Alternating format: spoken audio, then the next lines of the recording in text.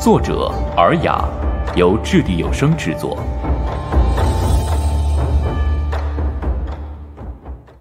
第四百六十四集，当年的武林。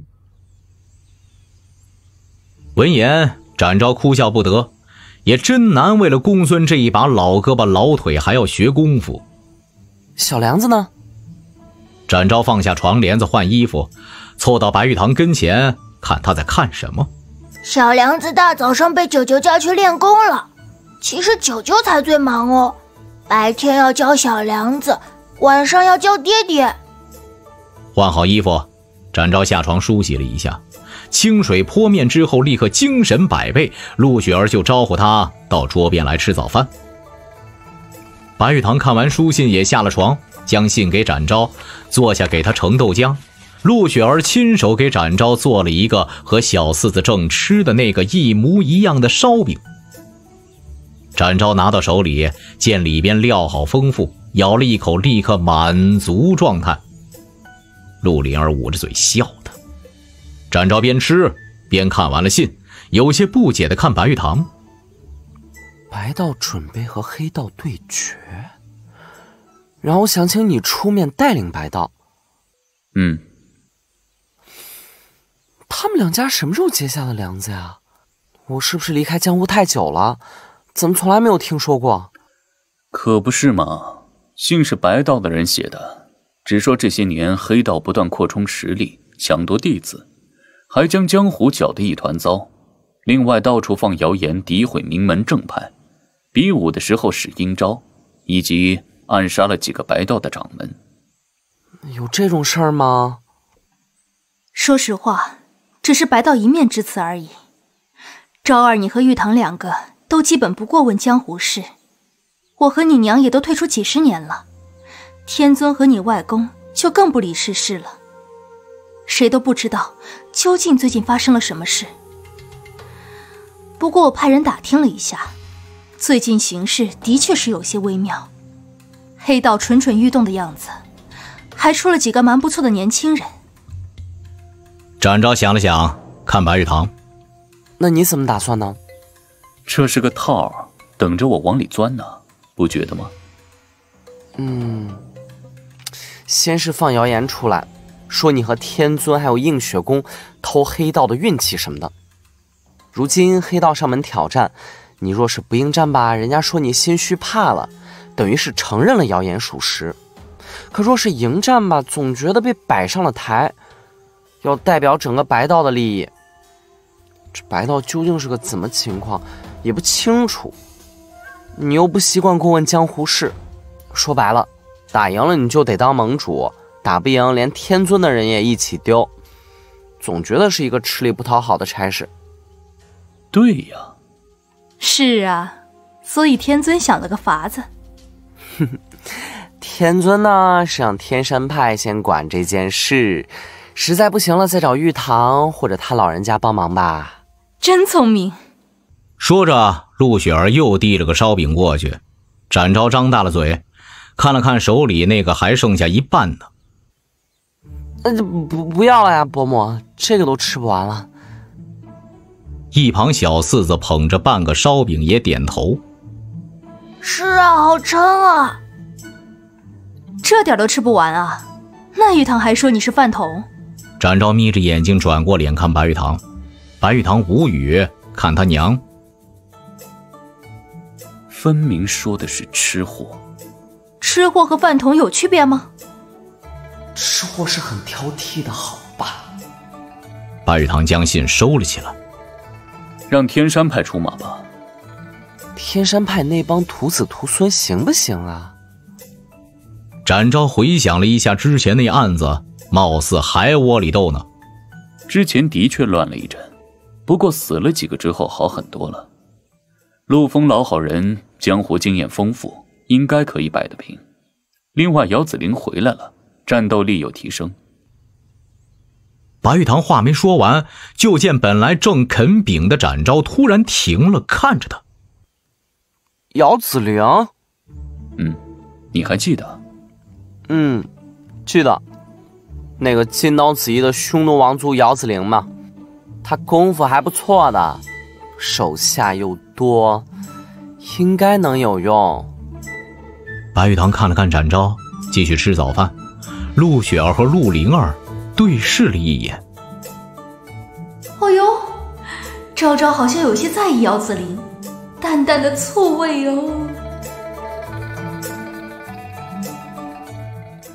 等吃了早饭，陆雪儿拽着要和展昭玩的陆灵儿回屋去了。展昭就准备跟白玉堂上街，到那个高升客栈附近转转，还有暗访一下那个槐树胡同。展昭本来想叫庞玉和包岩一起去的，不过两人和一众影卫上集市搬书去了。公孙腰闪了不能动，赵普和小四子要看着他。天尊和殷侯又因为街上江湖人太多，怕惹麻烦，所以拒绝出门。于是，最后只有展昭和白玉堂一起上街逛，连小五也被小四子留下作伴了，倒是也清静。两人一路走，一路闹着玩，没心没肺的样子。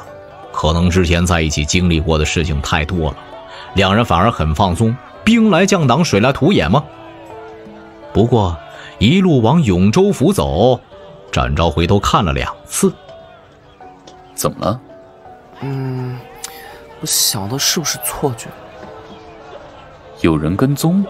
没理由啊，没感觉到内力和气息。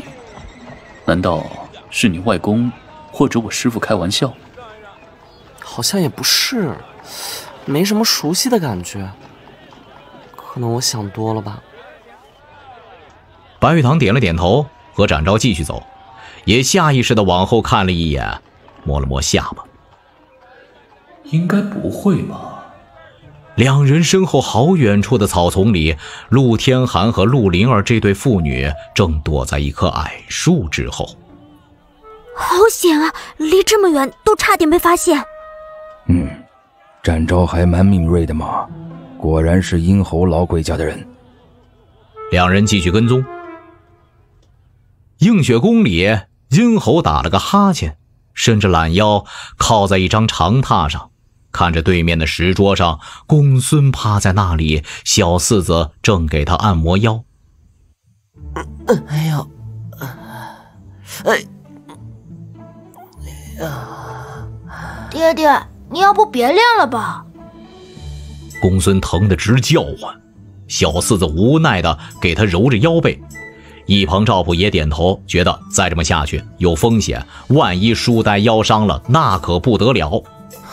就是抽筋了而已。哎呦，哎呦，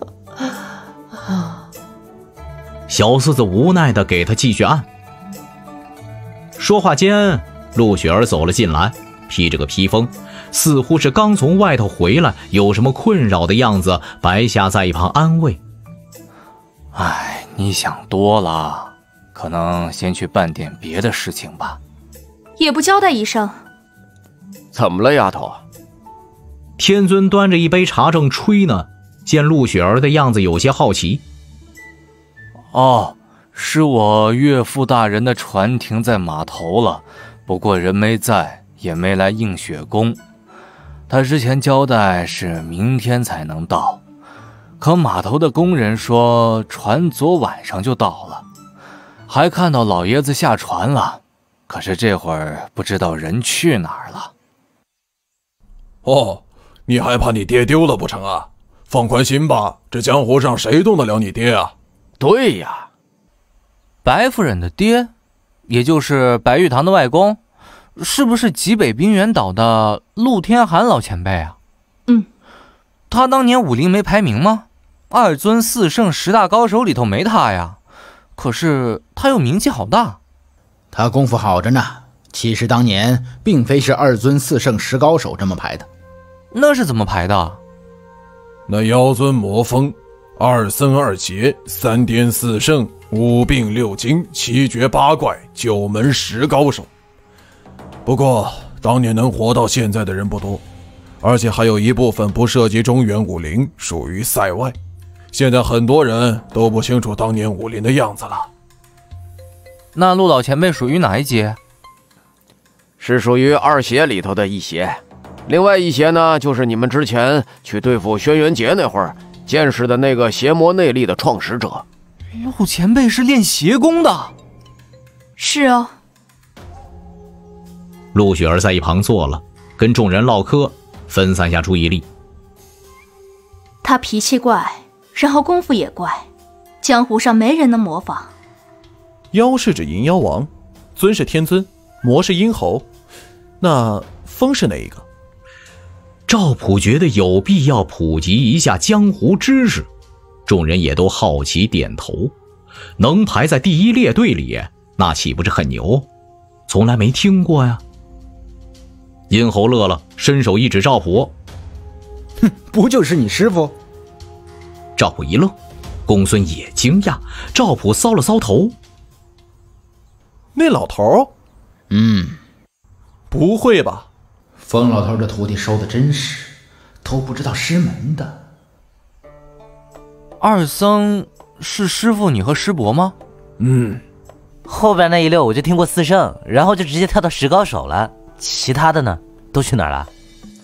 嗯，各自命运各不同，最终都隐匿于江湖了。老鬼，你魔宫还留着几位的后人吧？嗯，病书生的师傅是三天之一，九娘的师傅是四圣里头的。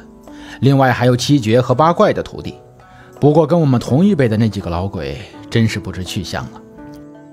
大多是过世了，毕竟不是谁都乐意活那么久的。